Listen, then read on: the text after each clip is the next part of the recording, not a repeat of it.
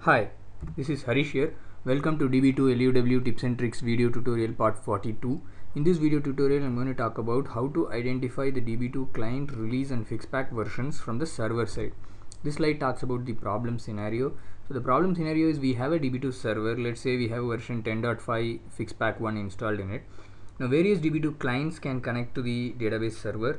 Uh, like it can be an application server like WebSphere or WebLogic or it can be ETL server or tools like Informatica or DataStage or it can be a, even a simple JDBC or CLI ODBC based application.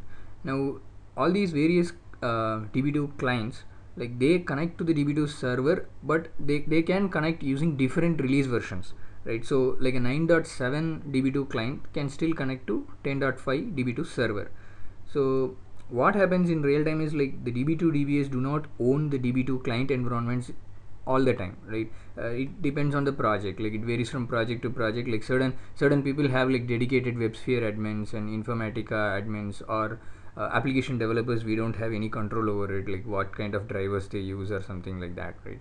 So it becomes necessary from the db2 side like from the dba side we want to have some kind of mechanism wherein we identify or monitor the db2 client version or fix fixpack from the server side at the connection level especially after like moving from say from 10.1 we have upgraded the server to 10.5 and we want to provide a homogeneous environment then we have to intimate all the uh, application server team or the etl team or the application developers to do the upgrade as well okay?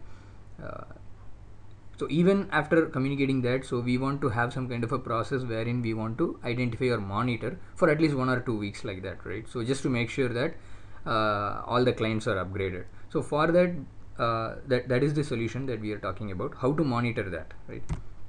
So the solution is you can get a very simple uh, application snapshot. You can issue the get snapshot command for applications or you can use the monitor mon underscore get underscore connection monitor routine. So the snapshot output contains a lot of valuable information like valuable db2 client related information like client ip address client host name client platform like whether it's a windows based machine or a linux based machine or AIX machine which is connecting and client user id client application name lot of uh, uh, information is available.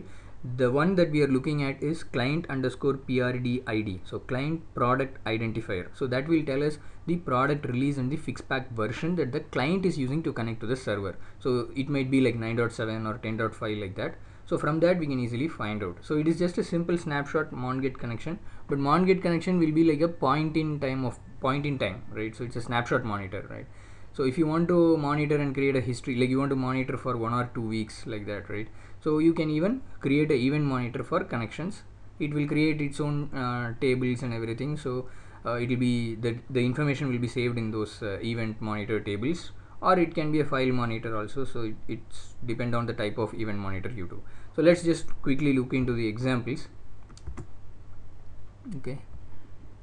So here I have uh, db2 inst1 I have started the instance and you can look at the db2 level. So this is on the server side. What is the db2 level? So it says db2 version 10.5 fix pack 1 right? So now the thing is this is that prd id that i'm talking about. See here the every every release right will have uh, one product identifier. So you can see that sql 10 10 so major version is 10 05 is the 10.5 right minor version. And uh, fixpack 1 right the last digit is 1 which means it is fix pack 1 okay? So this is the one that uh, product identifier that we are talking about. But this is on the server instance right? Now let's say if i uh, connect to the test database okay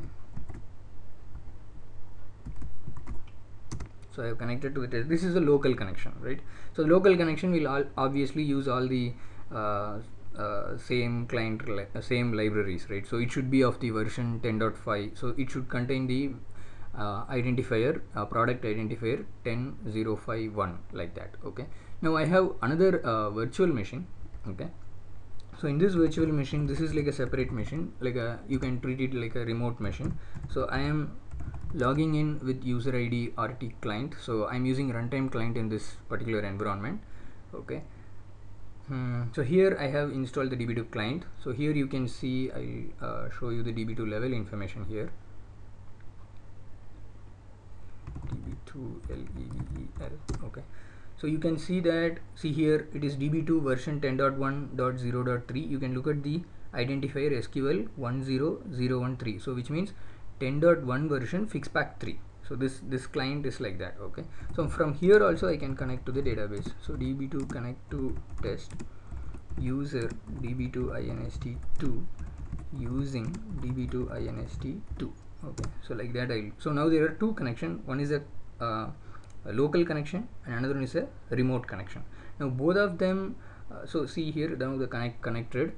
So now what i'll do is i'll go to the server and i'll issue this mon get connection uh, routine okay? So that should tell me like that should display me both the connections and the details like as I was talking about right?